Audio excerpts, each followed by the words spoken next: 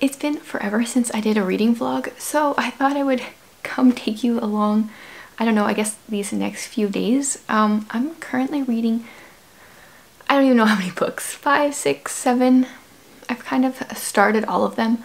Um, I kind of have already mentioned in various other outlets that we got another foster baby. Um, currently it's five days ago. So we have a two-year-old foster boy and last week we got his six-month-old sister. Um, we use like, I don't know what the nicknames I guess online because we're not allowed to say their actual names. So our foster son is R2-D2 and then his sister is BB-8 because it goes really well together. Um, anyway, so my reading has been different in the last few days.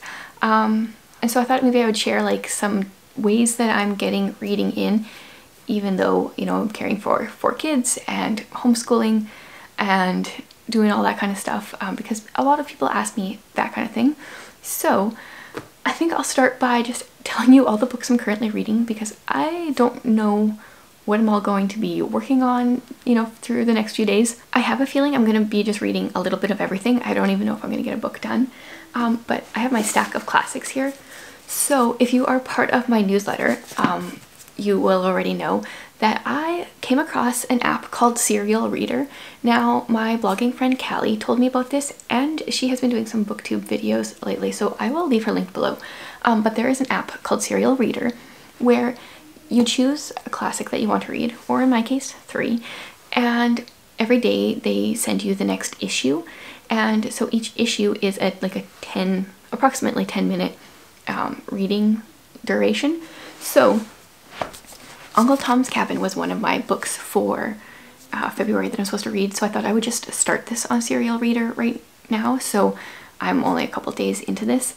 Um, once I've got a few more books off my list for February, I will just like sit down and like actually finish this. But I'm reading that one that way. I'm also reading The Lost World. This was one of the classics that I wanted to read this year because I didn't read it last year, or it was on a TBR, but I didn't finish it. Um, I think I'm, yeah, two days into this one as well. And then I've got Anna Karenina and I'm five days into this one right now, which doesn't get me very far. Honestly, like serial reader, normally I would sit and read more than a 10 minute increment, um, but I find it's not so overwhelming. Like Anna Karenina, like this book is heavy. It's very heavy. There's only 900 pages, but it feels like more. Um, so this one's supposed to take me 156 issues or days to read, or 159 I think but normally I wouldn't want to read it that take make it take that long but I feel like it takes away a lot of that overwhelm. Uh, yeah so I kind of just got kind of obsessed with the app and decided to start all three. Um, so I'm reading all those.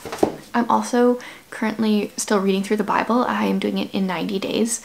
And uh, tomorrow is my last day in the Old Testament and then I think I have 12 days for the New Testament. Oh did I say 90 days? I meant 60 um, I think it's 12 days in the New Testament and then I'm done. So I'll be done that before the end of February. Uh, so that takes up a good chunk of my time. And then I'm reading Iscariot by Tosca Lee. This is uh, biblical fiction. Oh, I thought it was like closer to halfway, but apparently I'm not even quite a third of the way through this one so far. Um, it's interesting. I'm reading this as a buddy read over on my Patreon, and I think we're gonna have a Zoom chat about it. Of course, I was thinking about that prior to adding a six-month-old into the house, but I can probably make it work. Um, what else am I reading? I am reading a book called Spellbreaker. Someone mentioned this in the comments, now I don't remember who, that they really enjoyed the book. And the next book comes out in a couple months, I think. So I'm currently reading that on uh, Kindle, or on the Kindle app, actually just on my phone yeah, okay, and that's all I'm currently reading, but I kind of just like feel like starting all the books. Um, so I'm just going to, I think, keep chipping away at these books, and I, I'm, I'm hoping to not start anymore, at least until I finish one or two of them. Currently, Spellbreaker is the one that has captured my attention the most, so I'm probably going to read that for the next bit. Um, I don't like reading on my phone or on my tablet. It's not my preferred way, but that is one of my tips with a baby. Like if you're waking up in the night, which I have been to feed her, then I have my phone, you know, it's lit, I can read it, um, and I don't have to worry about, it's, it's a lot harder to hold a physical book while holding a bottle and a baby. So that's been working really well for me. Even someone who has said time and time again they don't like ebooks, it helps. So I'm gonna grab my tablet and then I think I will read that book for a bit.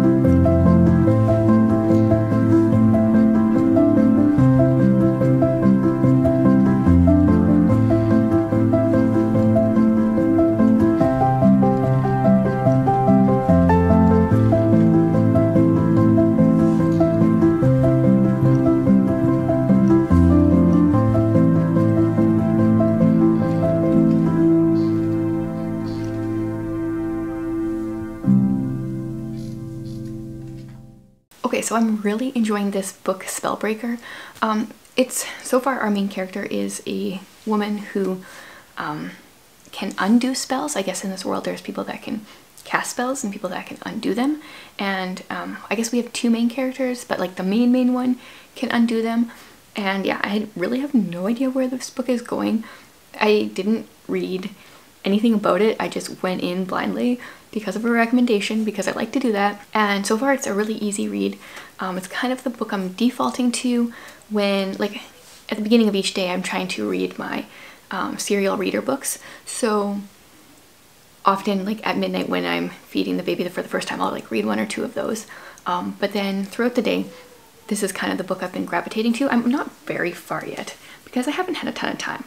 I'm 32% in. Um, but I do try to use this time, nap time, when both of the littles have a bit of a nap overlap to do some reading. This is kind of generally my reading slash working on videos and stuff. I know some people like to clean when their kids are napping and stuff, but for me this is like just do all the things I enjoy and I can do the work when kids are awake. Um, yeah, so I'm going to probably read for a bit more, but I think one of them is going to wake up soon. So I'm to do that where I can actually listen for them. I'm excited to continue with this book though and see where it goes because it's a lot of fun and I'm hoping I enjoyed enough that I want to read book two as well.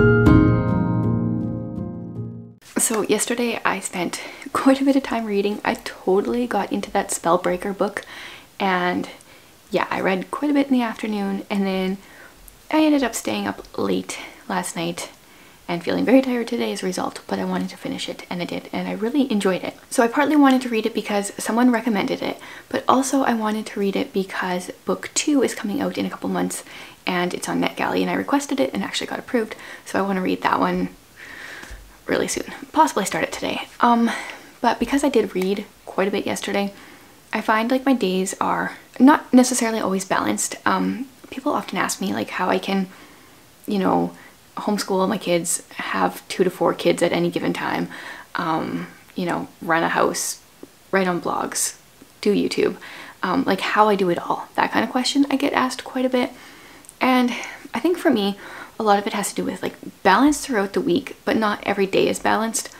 Often my days are kind of like quite themed. So I would say yesterday's theme was reading it was definitely heavy on the reading side. I currently have like a mountain of clean laundry that I need to put away. Um, I put off my work that I was going to do yesterday, so I'm in the middle of editing a video. Um, tried to do that this morning a little bit. I got a few minutes in, but it was hard to do with three kids in the room, all kind of making noise. So, you know, like, like there's trade-offs. So if I spend quite a bit of time reading one day, I have to kind of make up for it the next few days. So in the night, well, okay, so I stayed up reading till about 12.30, partly because I went out for coffee with a couple of girls from church. Um, we are doing like these smaller groups. So I have two ladies that I can meet with um, pretty much every week, I guess we're going, going to do. And that fits in the COVID rules. We're allowed to have, you know, up to four people at a table at a coffee shop. So we can do that. And it's been wonderful to get away. We have like this nice balance of like hysterical laughter and sarcasm and then like really deep talk. And I've been loving those evenings but then last night after I got home I just like needed time to decompress. I couldn't go to bed right away. Um, so I read and then I read till 12:30 and then when the baby was up at like three something that's when I took time to use serial reader and I did my Anna Karenina reading for the day. So what am I I think I'm seven days into that one now um, and I'm not even, okay, so I've read up, I've finished chapter six, I think it looks like, which in my actual book means that I'm only, okay, so if I finish chapter six, yeah, I'm on page 29 and it's been six days. Um, but yeah, it's just a less overwhelming way to read it and it's that's really working for this. Um, and then at the next feeding when she was up at was it like 6.30? I don't know. The times all kind of just jumbled together. Then I took time to do my Bible reading. It's like I'm a little bit more awake than, than I am at, you know, in the middle of the night. And I didn't finish that while she was eating. I kind of finished it throughout the morning. So I finished the Old Testament. So I started the day after Christmas, finished the Old Testament. So the next 12 days I'll be reading through the New Testament and then I will have read the Bible in 60 days. Um, and I'm looking forward to being done that and like deep diving into like actually studying smaller portions of the Bible.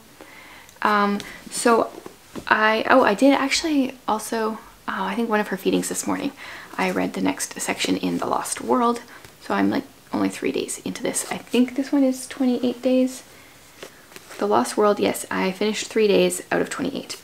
And then I have not read my Uncle Tom's Cabin reading for the day.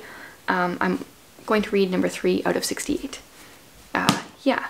So then yesterday, one of the errands that I ran before my coffee was a library trip.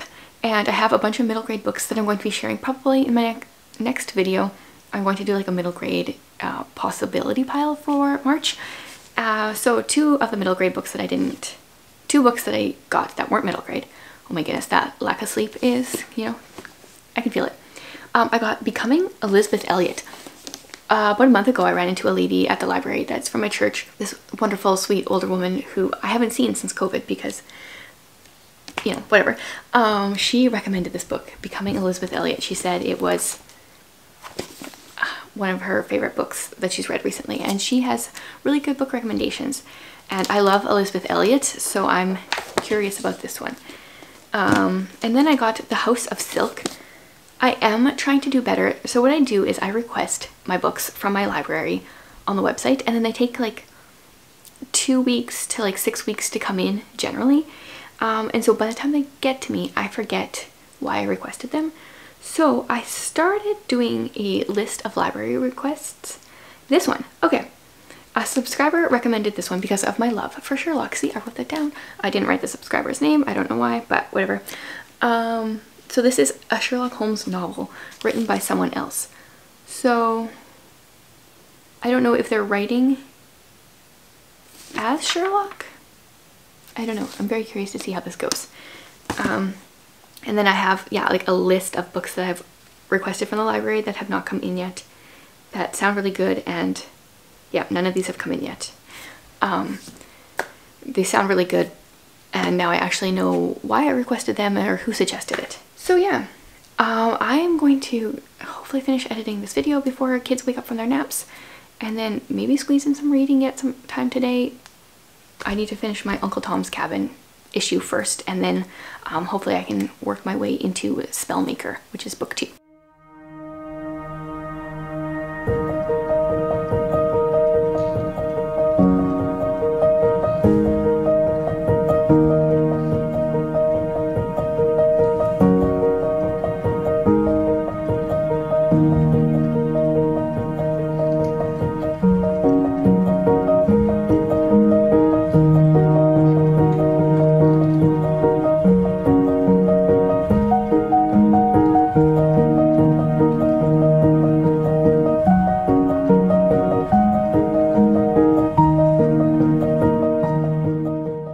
Okay, so we're gonna attempt this little reading update with a baby in the room, but now she's just smiling at me and making noise, so I'm not sure if this will work. She uh, might just start screaming because it's almost nap time. We will see. Yeah. Well, she thinks it's funny. Um, so yesterday I did spend some time reading Spell Maker. It's very confusing to go from Spellbreaker to Spellmaker. Um, and I'm quite enjoying um, the book. So let's see how far I am. This I'm reading on NetGalley, so is this going to work? I don't know. I'm 33% done. Um, this one does give me vibes of Mark of the Raven. um, I read at the end of Spell Breaker in the acknowledgements the first person the author acknowledged was God, and I was like, oh, I couldn't tell from book one that this was written by a Christian author, um, which isn't always a bad thing. Like, there was no red flag, so I was like, well, this isn't. Um, but I kind of like when Christian authors, you can't tell, and they can like infuse parts of the gospel in their books, and then they can appeal to non-Christian readers. Um, so this book, and then she's giggling. Uh, the second one. There's like there's like a few parts where like now the character is praying, which I like, and then there's a few like Mark of the Raven vibes. I'm not gonna give away what it is. Um, but then there's a few times where I'm like, oh, is that person using God's name in vain, or is this kind of like a prayer? I don't really know. And then it's like, huh, that's weird because it. I feel like it should either be a prayer, obviously a prayer, or not in there. I'm kind of confused by that. But overall, I am enjoying the storyline. I can't really say anything about it. I didn't really describe book one well. So you got like some people that have magic, some people that don't. Some people that are spell makers that can cast spells. Some people that can break spells are spell breakers. And then there's like four different areas, um, like spiritual, physical, and I don't remember the other two. So like spell makers kind of have to choose an area that like they can only make spells in that area.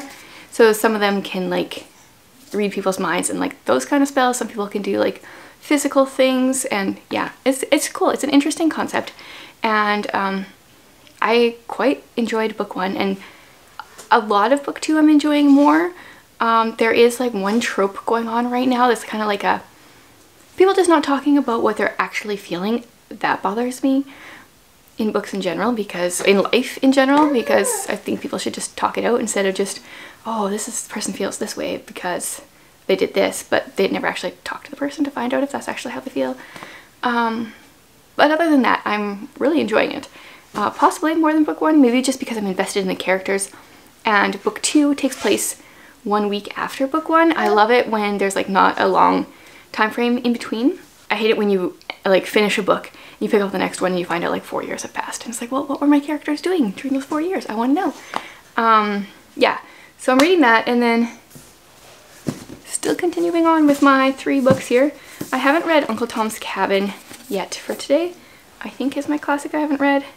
I'm so tired today. I think I'm feeling the effects of going to sleep at 12.30 the night before. Like it always seems to take two days and I just woke up exhausted. Yeah, so I haven't read this one yet today because um, it was a 12 minute reading time and my other two were shorter ones for today. this book, now I remember why I didn't finish it the first time. I just, it's just so hard. Um, and I hear it's really well done, but like at the beginning of the book, um, this slave owner, a really nice guy, is in debt and he is going to need to sell a couple of his really good slaves to a guy who is not so nice. And the not so nice guy's like, oh, you know, like they're just black people. They don't really have attachments to their kids and this and that. And it's just like, oh, it's so hard to read about. Um, but I want to continue with it because I've heard really good things. It's just, I, I struggle with the heaviness of it.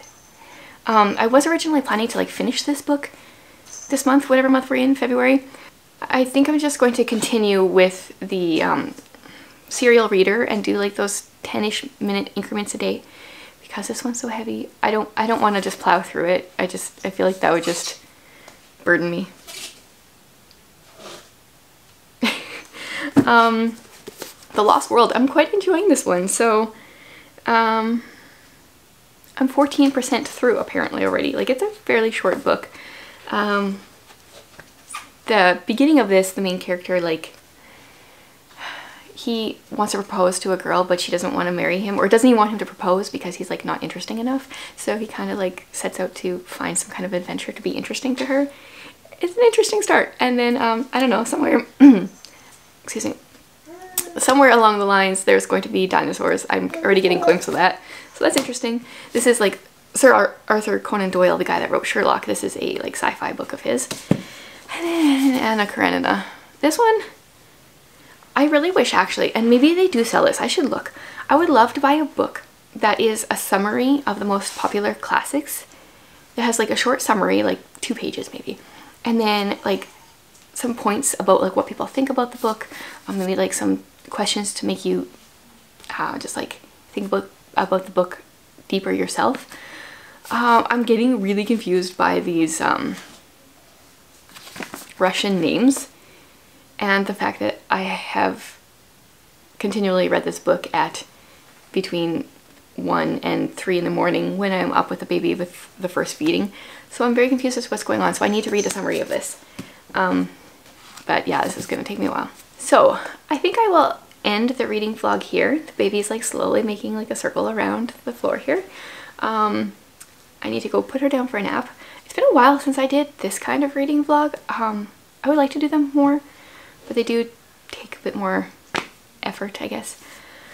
I would love to hear what you've been reading lately. Um, if you have a recommendation of like a summary, like I know I can go online and get like summaries of classic books, but I would like just like one bind up that has, you know, like 150 of the most popular classics or something like that. I think that would be really good. Um, yeah, let me know what you've been reading. Um, if you've enjoyed or hated any of these classics, I think no matter what people's opinions are, I'm going to try to continue all three of them, but I'm always curious to hear what you guys think about books. So thanks again for watching, guys.